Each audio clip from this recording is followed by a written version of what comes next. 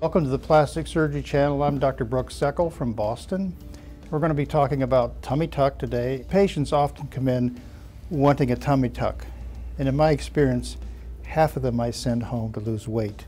Uh, how do you decide whether a patient's uh, a candidate for a tummy tuck, Dr. Doherty? So I think uh, when one is considering any body contouring uh, option, being closest to their ideal weight, I think is extremely important. They're going to do better with surgery, they're going to do better with anesthesia, their outcome is just going to be better. Having said that, I think that the abdomen and waist are areas that have diet resistant fat and so having liposuction in addition to a tummy tuck um, is a big part of that. So you want to spend a lot of time with your surgeon when you're talking about an abdominoplasty.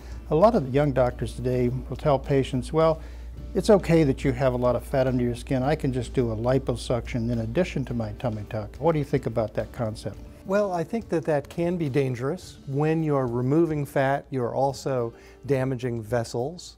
And with a tummy tuck, this embarrasses the blood supply to the abdominal skin significantly.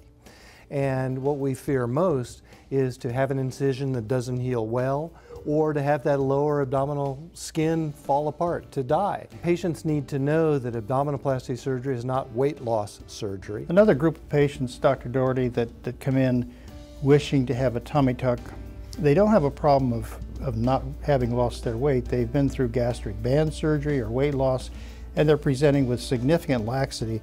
But how do you advise those patients whether a tummy tuck alone is going to solve their problem? The ultimate treatment for that would be a body lift, a full body lift. We also call it a belt lipectomy, so a belt going all the way around the body. However, there are some patients where their laxity or their excess loose skin is in the front of their abdomen and to the sides. And then a tummy tuck, which is an abdominal abdominoplasty, can be done, and an incision from hip to hip uh, would be appropriate for them. For further information, please check the Plastic Surgery channel.